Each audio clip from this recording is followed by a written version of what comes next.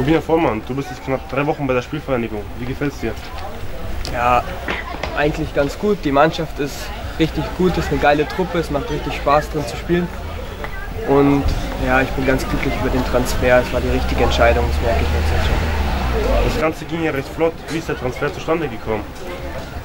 Ähm, ja, irgendwie ging es immer so hin und her zwischen Berater, Verein und 60 noch. Und dann irgendwann kam der Entschluss auch von meiner Seite aus, dass, ähm, dass vielleicht ein Wechsel zu Unterhaching mir gut tut, dass ich Spielpraxis sammle in der dritten Liga.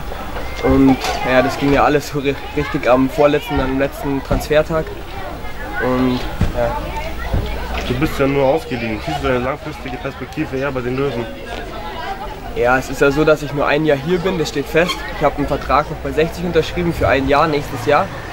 Also sehe ich da meine Zukunft eher schon hier, also nicht hier, sondern bei den Löwen. In 17 Jahren bist du ja der Jüngste im Team. Wie fühlt sich das an?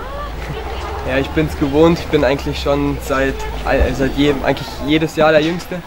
Ich bin relativ spät geboren im Jahr, deswegen bin ich es gewohnt. Ich muss alles halt tragen, aber das ist, da bin ich schon gewohnt, aber War es eine große Umstellung von der Regionalliga in die dritte Liga? ja, vom Tempo ist es mehr ähm, und schneller, aber ich habe mich relativ schnell schnell dran gewöhnt. Am Samstag trifft die Mannschaft auf den Zweitliga-Absteiger aus Osnabrück. Wie geht das Team mit den zwei Niederlagen um?